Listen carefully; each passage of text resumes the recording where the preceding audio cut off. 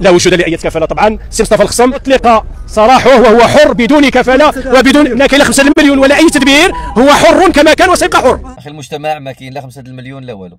مصطفى لخصم أخلي سبيله بدون درهم ولا جوج. بل بالعكس تعطته فرصة أنه يجيب الإثباتات والدلائل على هذه الأقوال اللي قال ودلا بها وهذه الاختلاسات اللي كاين وهذه الخروقات اللي كاين في هذه الجماعة هذه اللي كترأسها هو جماعة إيموزار كندر يعني اتت المحكمة أنها تجيب له يجيب الإثباتات والدلائل بل بالعكس هاد الناس هادو إذا كانوا متورطين بصح غادي يتابعوهم قانونيا وغادي يتحاكموا قضائيا. والحمد لله كما قلت لكم البارح أنا عندي ثقة عمياء ثقة تامة في القضاء المغربي والنيابة العامة. هذا الشيء ما كان اليوم وقلت لكم غتفاجئوا إلا كانت اليوم. إن شاء الله غادي آه مصطفى الخصم يخرج بدون كفالة. آه قلت لكم هذا الشيء البارح وأنا متأكد لأن علاش عندنا الثقة كاملة في القضاء المغربي وفي النيابة العامة المغربية الحمد لله. آه يعني باقي الخير في هذه البلاد.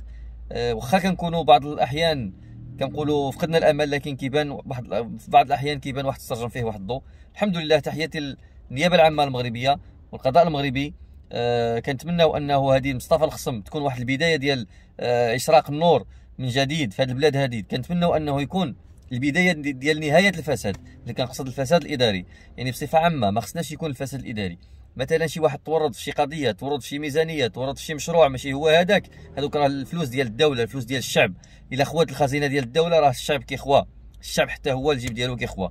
وإلا عمرت الخزينة ديال الدولة الشعب حتى هو إن شاء الله يعيش مرتاح لكن خصهم يكونوا نزهاء يكونوا يعني ناس شرفاء كيترأسوا أي جماعة في المغرب وأي منصب وأي إدارة في المغرب.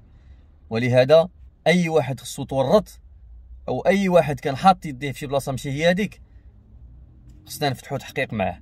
وخصنا نعرفوا الفلوس فين كتمشي الفلوس ديال الشعب الفلوس اللي كتنهب الفلوس اللي كتضيع هكا وصافي ما خصهاش تضيع خصنا نعرفوا فين كتمشي. وكنتمنى أنها تكون هذه بداية ديال نهاية الفساد في المغرب تكون غير مجرد واحد البداية.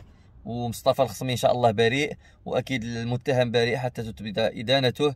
وأنا متأكد مصطفى الخصم غادي نجيب إن شاء الله إثباتات ودلائل باش يورينا المغاربه كاملين أنه مصطفى الخصم كان بريء ومصطفى الخصم قال غير واحد الحاجة اللي كاينة. كنتمناو أنه يثبت هذا الشيء.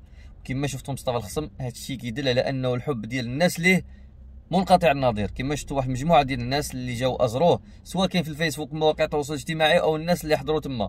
جاو من مختلف المناطق من تما من من نواحي صفرو وجاو باش يأزروه يعني أمام آه، المحكمة الابتدائية لمدينة صفرو. وكما شفنا واحد الناس في بعض الفيديوهات شفت واحد المرأة يعني كتدافع عليه بحرقه كتقول لك أنا مستعده نمشي للحبس.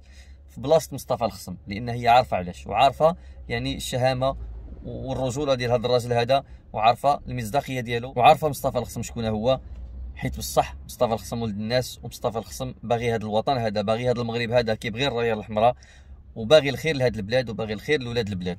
وتحياتي مرة أخرى للقضاء المغربي والنيابة العامة وكذلك الضابطه القضائية شكرا لكم بزاف. السلام عليكم أخي المجتمع. نحن نعلم أنه ما قام به هو الجهر بالحق ليس إلا. نعم.